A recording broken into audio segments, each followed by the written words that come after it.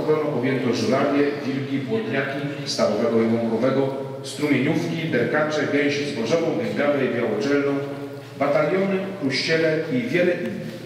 Na obszarze rezerwatu znajduje się również terytorium łowieckie Bielika. Rezerwat Świdnie znany jest również z dużej ilości cennych stanowisk archeologicznych. Od 3 stycznia 1984 roku rezerwat znajduje się na liście jako szczególnie cenny przyrodniczo obszar wodnopłowy.